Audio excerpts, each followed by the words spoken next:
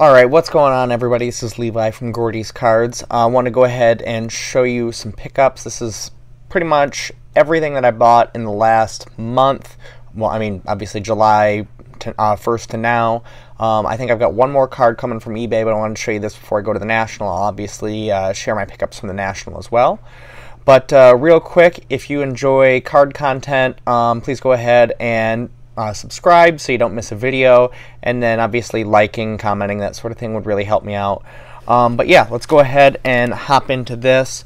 Um, let's start with all my raw pickups. Um, I'll just tell you what I got. If I remember the price, I'll let you know what it is and kind of what my plan is. If I'm gonna, uh, what I'm doing with it long term, how long I'm gonna keep it, that sort of thing. So, so first I'm gonna go through and do. These are some pickups that I got in Indianapolis um, at a card shop called the Fan Cave.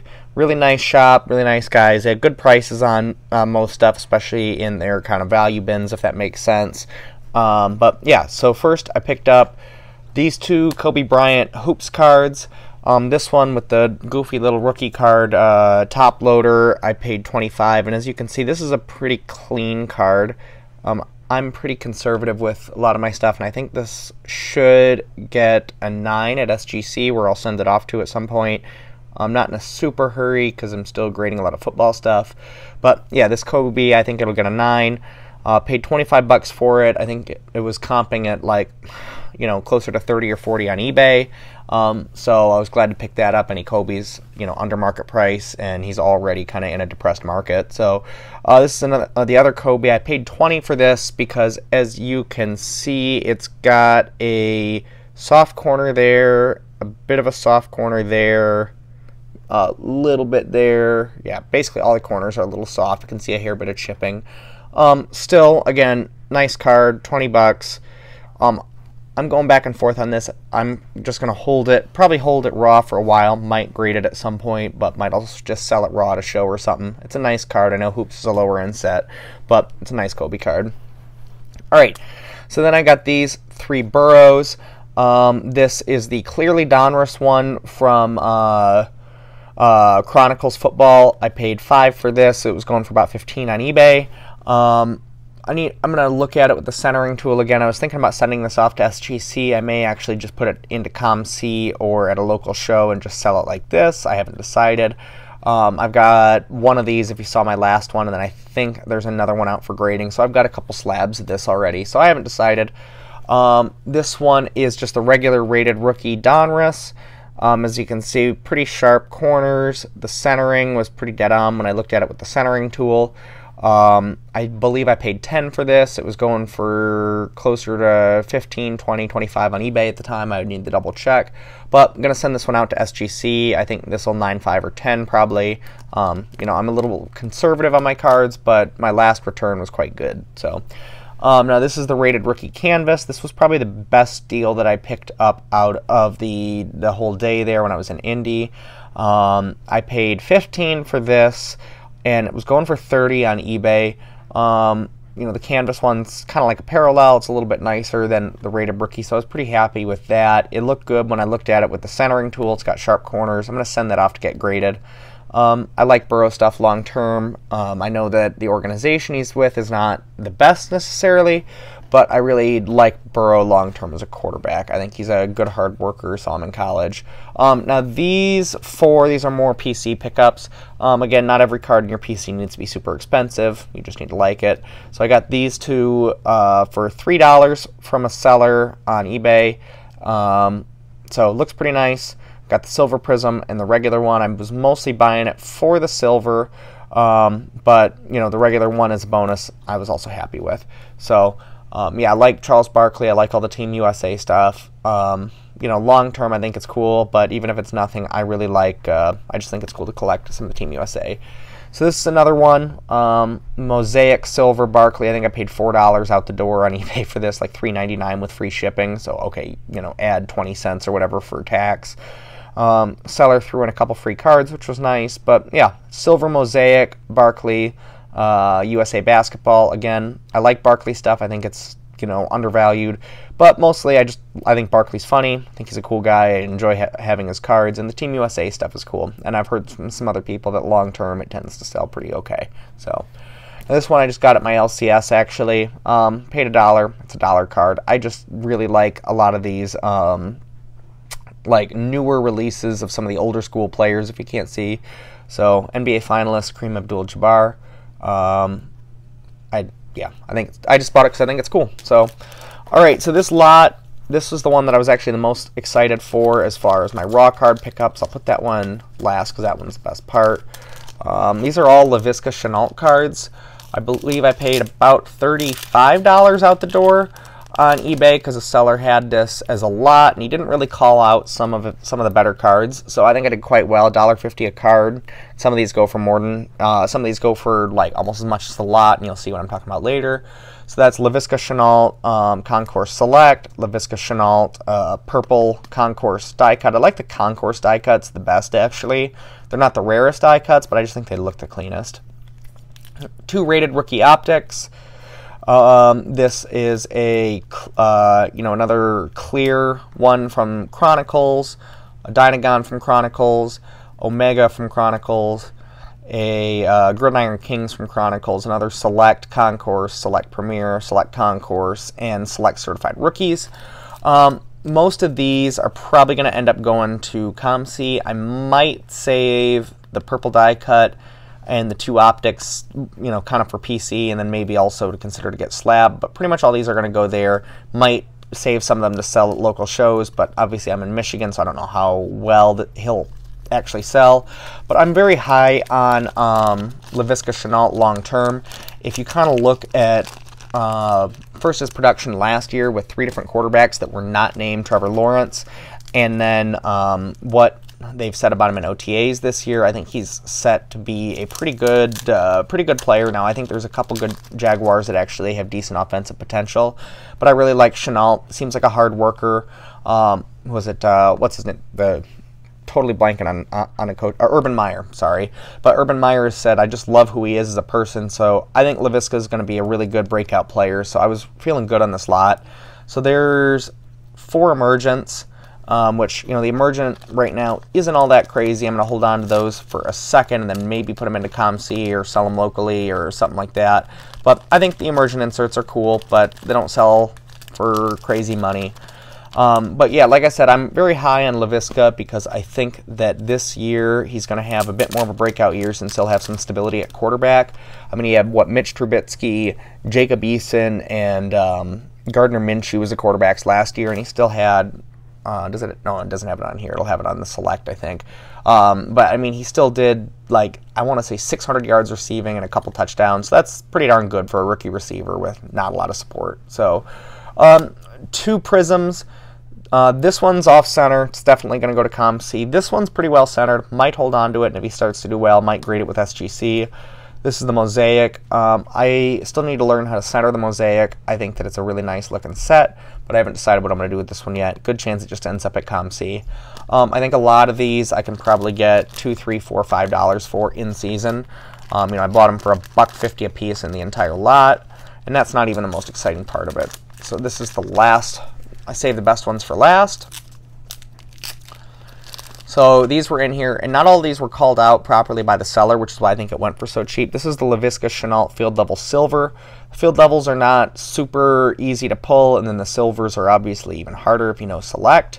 Um, probably going to grade this. Last SGC 9.5 did like 75 bucks, and again, we're still kind of in the off season for football and he uh, does about $20 $25 by himself on ebay right now i'm seeing for the silver so this was almost worth the majority of the lot but i'm probably going to send this out to comc to get or not comc to uh, sgc to get graded add some value there and, and there's not a ton of laviska that's graded yet and i think that he's going to be a bit of a breakout. Um, so this is the regular optic holo. It's a hair bit off center so i think this one will probably like 9.5 maybe 9 but optic holos really nice looking cards. Um, and again, if I'm not making crazy money on all these, I'll probably keep them as long as he's doing well.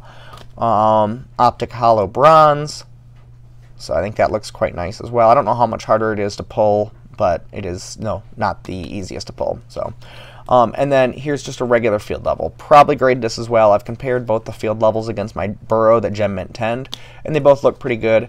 Um, I think I send these out. I get two tens and then two nines or nine fives, and I'll probably end up, you know, making my money's worth on that, and definitely a lot, not to mention all of those right down there. Okay, so I know this is getting a little bit long, so I appreciate those of you that are still with me. If you are with me, I definitely appreciate a uh, subscribe or a uh, like, um, or even if you just comment what you think of some of the stuff you've seen so far. So now I'm going to get to the graded stuff. Um, yeah, so let's get to the graded stuff. So we'll start with this pile. Leonard Fournette Optic Holo. Um, this was like 20 bucks out the door on eBay, $14 plus shipping and tax and all that. So I just thought that at 20 bucks that was kind of a steal. I can, you know, sell, trade it at a local show if I need to. Um, but Leonard Fournette ran for what? Almost 90 yards and a touchdown in the Super Bowl. So I thought that for 20 bucks, that was a steal. This is not a long-term hold for me. I don't invest like in running back super long-term, but I just thought this was a great price for how good he's playing right now. Um, go ahead and we'll do this one again. Joe Burrow Prism Black, and actually I'll show this one as well because I bought these from the same seller on eBay um, at auction. I paid twenty two fifty for this and like forty for this, I think, and then I did combined shipping. So I mean, out the door, I got about thirty bucks a piece into them. Um, I mean, they're cheap slabs. Again, I can probably sell them local if I need to, but I'm pretty high on Burrow, and these Prism Blacks cost about 30 bucks to uh, to buy anyways, $29 to grade cards with SGC. I think it's a cool looking card. Um, again, if they don't do anything, keep them in my PC, but I think that it was hard to go wrong at 30 bucks a card, um, especially since I will be doing some local shows this fall. So, um, let's see. This is Serena Williams. Um, it's the Net Pro number one. It's a PSA 9. I actually overpaid on this because I made a mistake. I thought it was the um, the glossy one, I believe, or it was the Elite. I think it's a glossy that's still orange. Either way, I thought it was a different card. My mistake. I'm still glad to have this one. It's pretty nice. Again, I overpaid on it. I'm probably going to hold it for a while because I think, you know, she's a goat. It's a good long-term hold. I don't think these are going to be the easiest to grade. Um, I think it'd be best if you can get a 10 uh, to buy, but you see it's black and orange, so lots of ways for the white to come through. So, all right, next, Anthony Edwards, um, SGC 9, uh, Prism.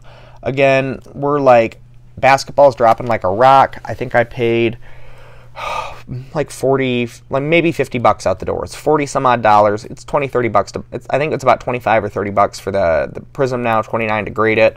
And as you can like if you know the prism recently it's been fairly off center. That's why this one got the 9 i think. Sgc is pretty strict on it. But i mean i thought that that was worth it mostly buying football now but i thought this was a good deal. So i picked this up um, I do think Anthony Edwards will be a solid player, and I like his prices relative to LaMelo right now. All right, so these are both the same cards. I actually, um, so I think I got 61 into one and 75 into the other. Prices have fallen a bit on this, but I really like Kyler Murray. Um, well, Kyler Murray by himself, and then I like the select cards as well because I think that um, this was a hobby-only format for a while now that it's gone retail, a lot of people really like it. I think the cards look nicer than Prism. I think people are going to start to flock to the Select. So I got these two. Um, these two Select. I think I've got two or three of this one. I think just two, actually. And then I just have... Um, um, I just have uh, what's the other ones? Two or three, two, definitely two of the premier level, which is like one rarer. So yeah, I think that uh, these were going to be good. Um, they're not as liquid as Prism, but I was getting better deals on these than Kyler Murray Prism, so I was buying most of his Select, and I like the cards better. So, um, so these next two I actually went in on with my business partner, also known as Dad. Um, so this is a Josh Allen um, Select Premier level. I think I paid 120. We we paid 125 or 145, one of the two for this. Um, we bought it from the same seller as the next one, and actually we got two Kyler Murrays from it. He took one of the Kylers because um, I bought one from another seller as well. But um, so I'm really high on Josh Allen long term. I actually have another Josh Allen Concourse Select coming. I don't think this is going to rise as quickly in value as like be as quick of a flip as uh, Kyler or as uh, Lamar, who I've got a lot of Lamar Jackson cards as well. But I really like him long term. Think he's a good quarterback. I think the Bills are knocking on the Super Bowl again this year. Um, so we'll see. I'm probably going to hold the the two selects for a while because if you haven't looked at the pop reports, 2018 select there's like just not a ton of out there. And I was getting better deals in this in the Prism. So um, the next one, actually, I'm going to save the other one I bought with my dad for last because I think that's the, the, the coolest card. Um, bought this.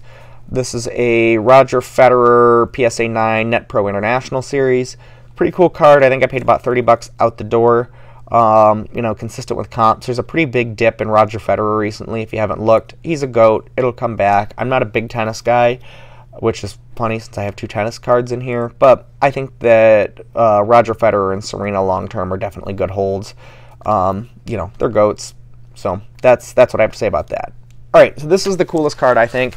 Um, it's soccer. Trying to build up what I own in soccer. I only own a few, like the Kylian Mbappe, and then we've got some jointly owned, um, well, more Mbappes actually. But pick this up. Um, yeah, I'll just go ahead and show it to you. This is the 2018 Donruss Lionel Messi PSA 9 Optic Holo.